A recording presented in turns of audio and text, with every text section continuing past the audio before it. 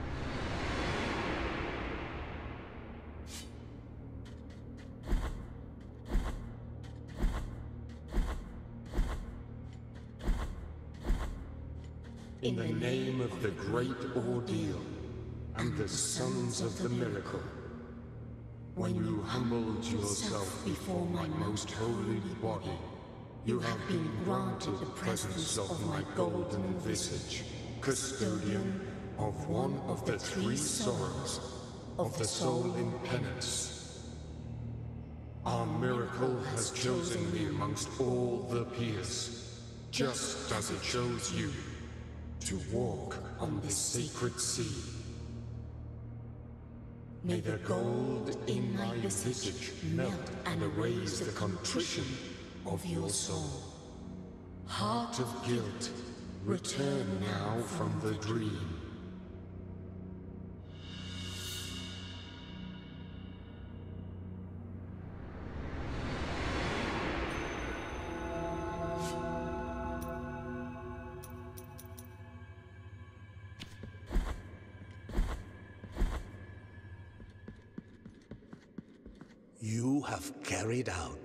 First humiliation of penance. You have been allowed to meet the visage of contrition. You have yet to prostrate before two last holy visages. Sorrowful be the heart, penitent one. Sorrowful be the heart.